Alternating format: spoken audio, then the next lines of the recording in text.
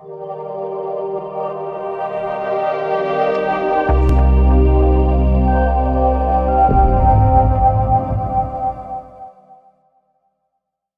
this is Paul Hitchcock with the Estate and Asset Protection Planning firm Barth Calderon. Thanks for checking into the Culture of Asset Protection TV channel here on YouTube. If you haven't subscribed yet, click below. There's a link because we put out some really great videos on planning issues and my colleague Brad Barth is doing this video and he is a top speaker on estate and asset protection planning to a ton of groups across the country. This is a really important topic. I hope you enjoy it. Thanks for checking in and I'll see you next time.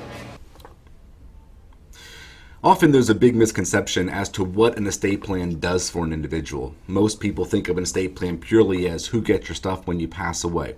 I like to say that most people think of estate planning as purely as death documents, when in fact that's not the case. I think that for a lot of us, one of the more important elements of an estate plan is who makes decisions for us if we're otherwise unable to make those decisions for ourselves.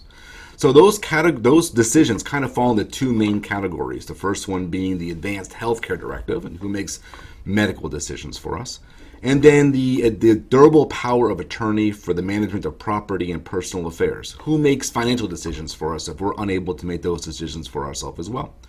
And nothing to do with transfer of assets. We we are the beneficiary of the of those documents and somebody else is making decisions for our benefit. So here again it's very important that an estate plan is not just a will, not just who gets your stuff when you pass away, but who makes decisions for you if you're alive and unable to make them for yourself. So kind of taking them from, uh, I would say, easier to more complicated. In California, we have what's called an advanced healthcare directive who makes medical decisions for you if you can't make them for yourself. So here you would designate an individual or a couple of individuals in order of succession. If you're married, it's almost always going to be the surviving spouse.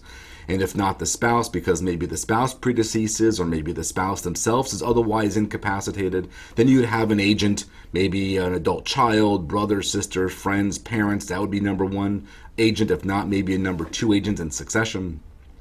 So if you're if someone needs to make medical decisions for you, we can make them. Otherwise, we have to go to court and get what's called a conservatorship. Now, I'll talk about conservatorships in a different video blog, but for purposes of today, we'll go ahead and disregard what a conservatorship is. So here we want to designate agents, and the agents will make medical decisions for us.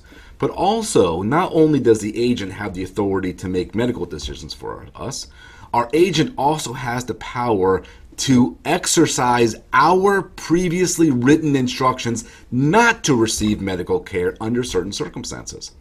Here in California, we had what was formerly called the Natural Death Act, which basically says, eh, I would say it's more of an acknowledgement that modern, modern medical technology has made possible the artificial prolongation of our life beyond natural means. And but for that human intervention, our body would have naturally expired within a matter of weeks, days, months, hours, or anything lesser included. And under those circumstances, such as a medically determined irreversible coma, a coma where you're not coming out of it, or a situation where you have no brain activity, you're in a persistent vegetative state, and nothing is being done but for the artificial uh, extension of your life beyond natural uh, natural means. Basically, to remove that medical intervention, let your body do naturally what it's going to do, but at the same time, you still want to receive palliative care to basically uh, for your comfort and otherwise to alleviate pain. And so many of us may recall that case about 20 some odd years ago when the state of Florida, the Terri Schiavo case, kind of put this issue on the map where you had Terri Schiavo herself who was uh, otherwise, uh, uh, for all intents and purposes, uh, brain dead. And her husband was saying, pull the plug.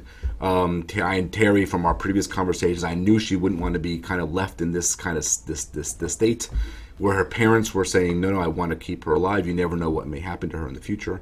And since we didn't have any affirmative statement as to what Terri herself wanted, the state of Florida couldn't get involved and ultimately became a media circus and ultimately was resolved with the Florida Supreme Court.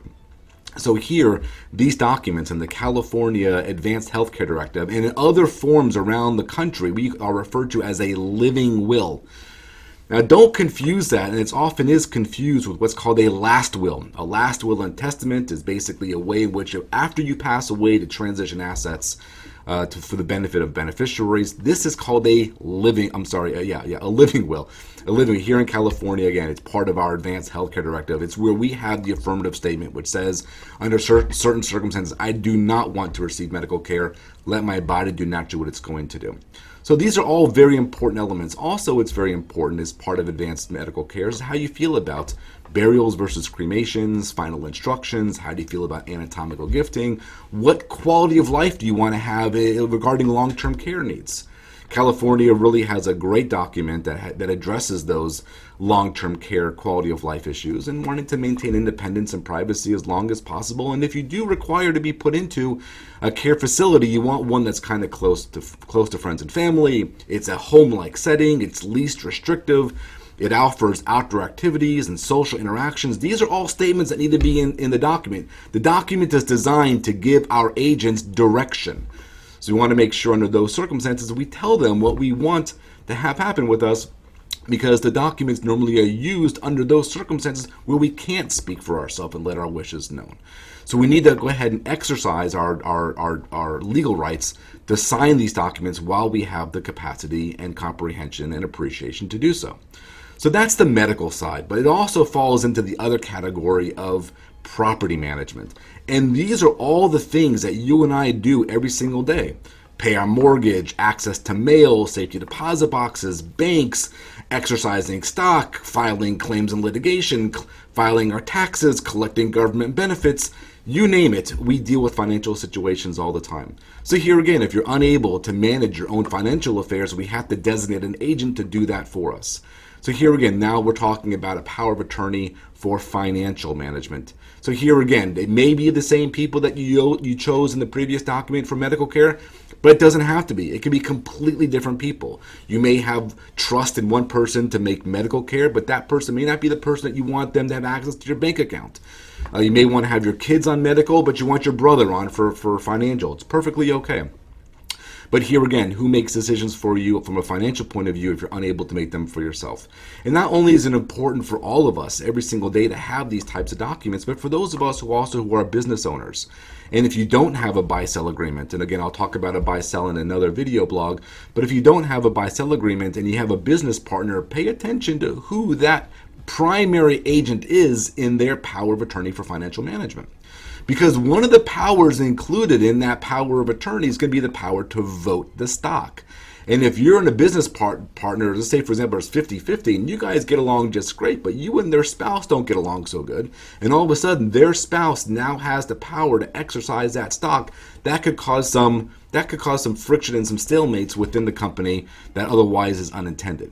Again, a buy-sell agreement is a way to kind of prevent that from happening, but for those of us who have business partners and we don't have a buy-sell agreement, the power of attorney is an important thing because that's going to be the person who exercises the stock or exercises the LLC membership interest if our business partner is otherwise unable.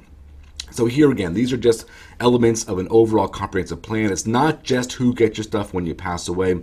Don't forget about the very important elements of who makes decisions for you, both in a medical situation as well as financial, if you yourself can't make those for yourself. So here again, if you have any questions, please reach out to me. My name is Brad Barth. I'm partner of the firm of Barth Calderon, where we plan today for all your tomorrows. Thanks for your attention. Bye-bye.